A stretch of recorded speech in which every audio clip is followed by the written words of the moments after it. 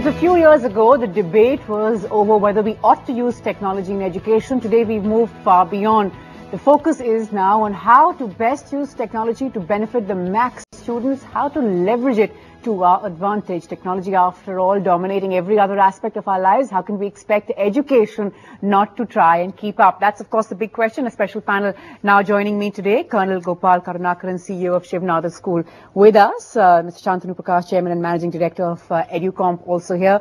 Uh, Sanjay Purohit, Founder, CEO, iProf India. And Ratnesh Kumar Jha, Managing Director, Cambridge University, South, Cambridge University Press, South Asia. Thanks all so much uh, for being with us. Colonel Karunakaran, in fact, I could start by asking you, there are so many parents who've always sort of been a bit reluctant or a bit apprehensive, if not reluctant, about just how much is too much when we talk about technology. Who do you think is the best person to decide how much is too much in the classroom when we talk about technology? I think the singular answer to that is uh, nobody knows. I'm not too sure. candid. I, I don't think uh, when we started the school three years ago, this was one of the foremost questions we asked ourselves. How much technology, which age do we start with technology inside the classroom? What is the ideal type of content? Um, how do we enable the teachers to be able to use it because they are not digitally native as much as the generation which is the post the millennium ge- generation. So I think uh, in some ways uh, I would say that we are not too sure. So it's the the education fraternity, the parent community, the students themselves who Right. need to sort of figure it The out. stakeholders then which sort of need get to together. figure it out. But Right. for example, we took a very conscious decision that in nursery and KG there will be no technology. Hmm. So, you know, that's sort of a starting point. We said there's just too much happening in their lives. Hmm. It's too passive a medium. They must, as I was talking to uh, Shantanu, they must learn to use things with their hands and Right, be creative and right. spend time reflection. Well, we'll go look at that because we've had many parents writing into us saying, you know, who decides I can't get my child off this tech and how much is too much and iPads in the classroom. So we'll look at those kind of concerns a little later. But coming back, uh, you know, to our focus on, I mean, there's no getting away from it, uh, is there, Shantanu? It is a reality. The world is ac- accepting it. We have to stand up and sort of grab the opportunity. What do you believe has been our one big success about adapting technology in the classroom and what uh, quickly would be the one big failure? Well, I would say, Natasha, that if you look at a typical Indian classroom, Hmm. I would even go so far to say that it's dysfunctional. You have 40 to 50 kids on an average in one Hmm. Right, classroom, right. crammed into a small space, about 400 Right. square feet or so. Teachers in India Hmm. are probably, if you look at a professional spectrum, are way down on how much we pay them. We Right. should be paying them more. Right. So we are not able to attract the best teachers or best And human capital huge uh, to the uh, Right. Hmm. to the profession and the curriculum just keeps keeps getting loaded on every year Hmm. and on top of it if you layer the fact that parents have this insane motivation for their kids to keep doing better and better Hmm. It's 100% you have all the settings now. of a dysfunctional classroom so when when Educomp started we said we need to figure out how can we make these teachers hmm. productive in the classroom. Hmm. A technology was an answer. Hmm. Okay we started 10 years back. In fact we are celebrating 10 years of digital classroom in india uh, this year. Yeah. and now there are about 300,000 uh, classrooms across the country that use technology every day. So take a typical class, for example. You're teaching photosynthesis or you're teaching some abstract concept in math. Without technology, you have to revert to chalk and talk. Hmm. And Gopal mentioned about these kids being digital natives. Hmm. So, you know, I call them three screen kids. Hmm. So they are, they look at the TV screen. Okay, probably they watch NDTV. Okay. We hope so. Talk about starting young. you know, they, they have their cell phone screens. Right. Okay, and they, then they have their tablet. So these kids respond differently to audio visual than kids of my generation Right. or the generation previous to that. Right. Yeah. That's of course one aspect of that. That's very heartening to know. But Mr. Purohit, there are of course lots of others who sort of say, you know, look at uh, students enrolling for online courses. How many are actually finishing them? How many are wrapping up? What's the sort of concrete result? What are we looking at? How would you sort of uh, respond to that? Okay, yeah. we focus mainly on supplemental education, which is behind b- beyond the classroom. Hmm. Right, right. And that's where we get complete data about how much people are using. Hmm. I'll give you a data. We have about 30 lakh students which used iProf last year, Hmm. And average uses is seven minute per day. Supplemental education. Right. Hmm. So it's about one hour a week.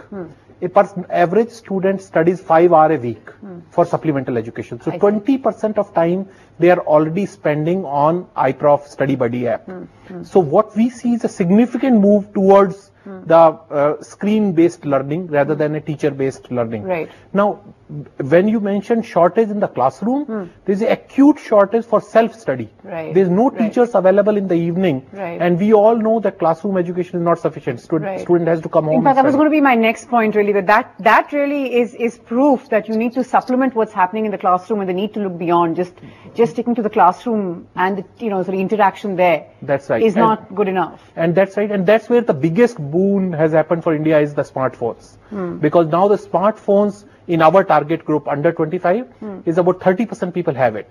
And it's another 120 million smartphones are coming. Hmm. So we are a mobile learning superstore. So you have Right. all the courses. So that's where people download and use it on their smartphones. And I think that's also where a lot of the aspirational young Indians are, are now there. Those, That's you know, right. tier two, tier three towns that are sort of trying to also raise the bar for themselves. But, you know, you, you mentioned tier two, tier three. I was going, going to get that in a little later, but I, I will now, Mr. Uh, with you perhaps, which is, you know, we've also sort of looked at of course, uh, uh, Mr. Purohit, they're talking about tier two, tier three, and, and small town India also wanting to be part of this learning. But what about the many, many, many small towns and villages where, you know, our internet penetration still under the scanner? We're talking about digital India and all of that. But of course, we still have a long, long way to go. How do we sort of get everyone on board? So I see it from a two perspective. One is technology as an enabler. Hmm. B, the engagement of student or the teacher hmm. or the whole classroom going up. So the whole classroom productivity or engagement going up. I would see that if there is an aspirational hmm. ge- gesture which has been put forward by the government and say that, okay, for, by 2025 we'll be a digital progressive and everywhere an internet is going to happen. The challenge which it throws to us that how do we as a provider of education really start thinking in terms of engagement going up, Right. high quality content, uh, Exactly. teaching cap- Right. capa- capab- capability going up. So Right. all of that becomes the challenge for us. So if you put the assumption that all of other things really works well, which is internet penetration, etc., etc., going to happen, then we start solving the problem. Right. Now, those are very aspirational and those Exactly. are challenge which we have at this point in time. And, and we are sure all of us are working collectively to solve that problem. But the, the, the main theme still remains what's the content, who's the teacher, how you're enabling them, how you're Exactly. increasing the whole uh, quality there. Exactly. Shantanu, how much of this do you find absolutely frustrating, honestly, when you look at the challenge? Yeah, the internet infrastructure in hmm. India hmm. has been frustrating for a while. I mean, I have 3G on my phone. Most of the time it works like 2G. Exactly. Okay. And this is something that you go to a small town. I mean, we can't even get voice calls. Forget hmm. getting hmm. like consistent hmm. data on the phone. Uh, apart from that, honestly, I don't see any challenge. I see. And I and we all know for sure that this is only going to get better and better. It's going to get better. It's going to get more affordable. Uh, I was recently in a small town. I was in Panipat. I visit schools a lot. Uh, went to grade six. Okay, and just you know, I took a show of hands. Hmm. How many of you have um computers at home? Hmm. About 30% said computers at home. Hmm. Said how many of you have tablets? Say 5% tablets. How many of you have smartphones? 95% of sixth graders in Panipat, small middle class B sort of city, hmm. had smartphones. So hmm. I completely agree with what Sanjay is saying. Hmm. You know, the next revolution in learning is going Is to be going to driven be- by personalization, Right. uh, affordable smartphones, and of course we need we need the internet infrastructure to energize this entire thing. Go ahead. example, how people innovate the um, solutions. There is no internet, but they still need to learn. So we get more than few thousand orders every week for getting the content on SD card. So, so I see. and you know SD card is cheap now, Yes. and so people can get 13, 30 GB or 16 GB SD card in 400, 500 rupees, hmm. get our content on that, hmm. and ship it to them in their house. Sometimes no courier is taking it, so we have to send it through normal post. But then that SD card and their uh, smartphone hmm. makes it a complete class. And so democratizing education, this is the movement has come with the help of smartphone, which is an en- enabler. Hmm. And then as the internet improves, hmm. there'll be more and more connectivity. But people have found the way hmm. to learn through pen drive, through SD cards, which is a huge industry has emerged.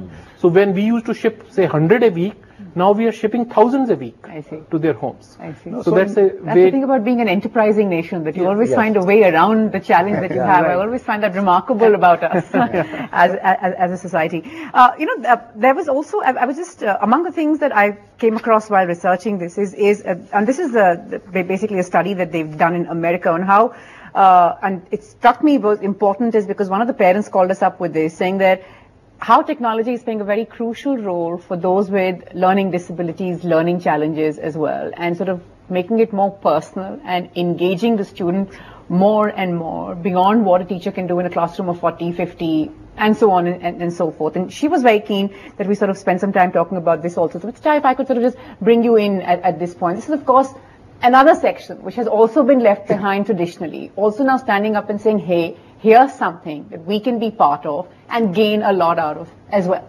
So that's where the point which I was referring in the last conversation is that when you look at the learning, you know, for, you know, for a moment think about technology as enabler. And when you look at learning, and if we look at these the disabled people which you uh, like of them and allow them to learn, that's where the whole research aspect come into the mm. picture that how are you actually lifting up the learning? So for a visually disabled people how are you actually getting into the researching to find out that how that learning content or learning curriculum is designed in that basis? So for example if you look at our school system our learning curriculum is very well defined. It's still a manual based there's no you know there's no technology which really happens there. And then when you actually see the similar mm. strata of people mm. learning the, in the similar way, how would you lift up the whole content uh, mm. intervention there? So I think the important point which we need to also start thinking now is to really, how do we make it more inclusive? And how do we do more learning engagement, right. content-based research to right. have inclusive going through How through. do we make it more inclusive? That yeah. will always be something that we keep, I, I guess, we, we, keep innovating and keep coming up with new ideas. But Jonathan, I have to ask you, what was sort of the, the what next? Like, how do we oh, do all this? We are entering into a very exciting uh, mm. age, mm. the likes of which I think we hmm. haven't seen before. Mm. So I think I would say uh, technology integration in schools hmm. uh, has so far historically followed a certain path. Hmm. Uh, first, you had, of course, no technology, and then we started having uh, computer labs in schools. Correct. And kids used to troop to the computer lab and used to learn how to do basic or word processing Color and so on and, and so on. Right? It was a big deal at that yeah. time. Okay. Now every school has computer labs. Nobody talks about it anymore. The next phase was when you got smart class into mm. the classroom. Mm. So the classroom got energized. Mm. And I think we are on the on the threshold of this revolution where the backpack is going to be replaced by a tech pack, I would say. I'll give you uh, three examples of what we do in the Shiv Nadar schools. Uh, we have online content which is available to the student at home prior to coming into the class. So it's it's a flipped class. Mm. Uh, flipped class was something which has happened for probably decades. Right. Uh, it's about the professor in a college uh, giving out right. the content which you should be prepared Quite for. But this is online content. Mm. There are videos. It's gamification. Children enjoy doing it they get a lot of concepts clear before they come into class. Mm. And then the discussion the next day is centered around what is not understood right. or what needs to be shared. Right. So there's a second level of understanding something I that see. you worked with earlier. So that's one sort of an aspect. the other aspect is video capture. So mm. we capture uh, classes which happen inside the class, inside the class in the, in the school. Mm. Uh, the teacher can review that, see. see. about her own teaching methodology. Mm. The student can go back when the student was not attentive in a particular class, mm. or if the student was absent, you got access to it, it's stored on cloud, so you can right. look at it. So that's right. another level. I see. The third thing is a clicker, like uh, Amitabh Bachchan on Kaun Banega mm-hmm. Crorepati. So the teacher just has to figure what are the concepts that she needs to have been understood as mm. learning objectives at the end of the class. Mm. And then you do a clicker test. The right. children love it. You get a feedback on how well that's been learned and you also know what hasn't been learned. Right. You can go back to it. I, I just want to take a quick break at this point. There's a lot more that we're discussing as we talk about technology in the classrooms. These are classrooms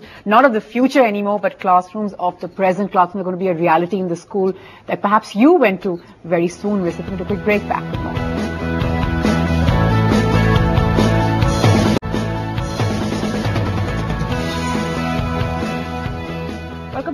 Role of technology in education, we've seen classrooms, uh, perhaps not of today, but definitely of tomorrow, not in the distant future, and all that technology will enable our students to do. Let's just uh, spend some time now looking at what this means for our teachers. Historically, of course, Mr. Jha, we've seen that whenever technology has sort of come into new areas, there's always been some sort of apprehension, perhaps understandable, you know, and some sort of reluctance as well. Now we're talking about totally modern classrooms and, you know, the teachers, sort of maybe stepping back a little, the student takes center stage yet again along with technology. What does it mean for a modern age teacher? In my view, I think the role of a teacher is changing to become enablers. Uh, when we're talking about adaptive, when we're talking about personalized learning, which is what the future is, while I continue to believe that we need to make more inclusive Sure. theme around that. Sure. Uh, but now in the classroom, what's happening is that the students are coming well prepared with their whole whatever is given as their homework, Right. whatever is given as a, their work to do. Then the teacher starts actually enabling them hmm. to get the learning outcome. Hmm. So there, there, there was a think of divide, which hmm. is their adoption in terms of taking the technology. But I think incrementally teachers are becoming more and more, uh, more and more progressive. They are Right. looking at technology as a means, but they know that if we don't do it, they will be left behind. They'll be left behind, exactly. Colonel Yeah. Gopal, is that fair to sort of say that there's Uh, teachers who don't believe that technology is central uh, to the way education systems must run are actually like dinosaurs. They're going to get extinct very fast. I think the second point is it's only a transitory 10, 15 year sort of phase because the next generation of He's teachers will to come anyway equipped, will be right. right. And I think the interesting thing for teachers to also see, and I keep telling that to our teachers that you know the teachers need to figure what Google can't do. Hmm. And Hmm. That's we always have interesting. this Yes, discussion about what Google can't do. So I I'd love said, to know what Google can't do actually Google, myself. Google, but- Google can't hug at least for some time. And I think it's very important That's that the emotional, Right. social aspect Right, of right. being in a school, in a physical space of a school, is a huge area. And that's also another reason children go to school. That's a very important point. And I think that's a point which ultimately uh, cannot be ceded to technology, Right. and that's a very important area. So there is a lot teacher can do. Right, go ahead. I can give you a case study example. There are about 5,000 teachers in Mauritius which has adopted iProf platform in classrooms. Content management or basically what you call assessment life cycle. A student, a teacher spends about 30% of the time in creating assessment, then taking the answer sheets from 40 students and checking manually all 40 of them. Correct. So that is almost two to two and a half hours every day a teacher spends. Now that all has been automated. So teacher now can create a uh, assessment out of the question bank which is there hmm. in about five minutes, hmm. which she used to take about an hour. Hmm. Now the answer sheets when they are submitted, because the tablet has been adopted in the classrooms, it takes a second. The moment it is submitted, same time you get your answers Right. and your results. Right. And grade book is tabulated. Right. So much paperwork was there. A hmm. school in Faridabad has adopted completely the hmm. um, iProf tablet solution. Hmm. It's a, across the board. It has gone. And they are saying they are saving about one and a half to two hour of teachers' time every day. So te- it's a huge opportunity for teachers to adopt it and make their life simpler. So Shantanu, uh, f- fair to say something there for everyone? You know, one of the things that I, I have observed hmm. is firstly the teachers in India are hmm. very innovative. Hmm. Okay, and the way they have adopted to technology uh, is really interesting. Today, if you look at a resume of a prospective teacher, in the resume you have a line saying, you know, I'm experienced with using smart class, for example. So they're using this to their advantage for job, upward job mobility. Okay, and you know, th- to this point of yours that, you know, technology is going to be a threat or a fear. I don't think technology is going to Hmm. Replace teachers, right.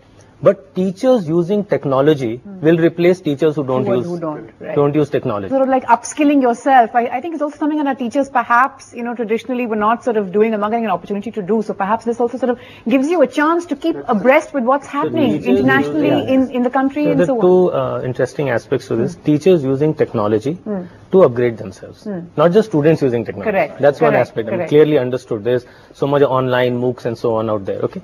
Second aspect is teachers improving their economic uh, condition because now she can do a job in the morning in the school, come back, Right. get onto an e-learning platform, and tutor students from across the world. Exactly, so if right. you're talking about teacher shortages, Right. in a virtual world there are no teacher There- shortages there no. because teacher shortages are, that. local, are localized. Right. I'm starting to run out of time. Yeah. So, So I'll. I'll end on this that, you know, the, uh, we asked maths teachers who come in for interviews, do you know Salman Khan?